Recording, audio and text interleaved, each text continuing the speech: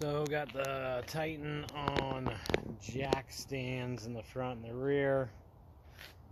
Um, here's what having the wrong gear ratio front diff versus rear diff looks like.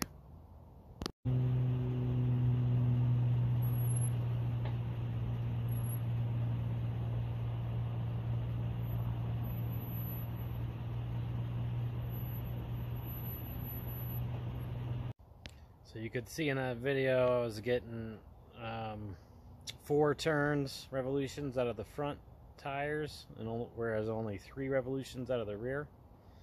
Uh, it's a 2.937, I think. Um, that must be the front differential because um, my rear is a 3.357.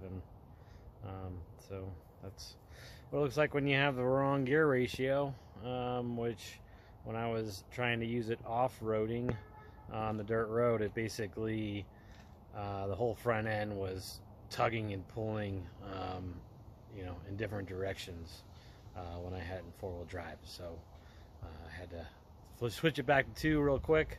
Um, I also uh, lost a lot of diff fluid um, out of that front diff. It basically uh, all went out the overflow um, and sprayed everywhere in the engine compartment.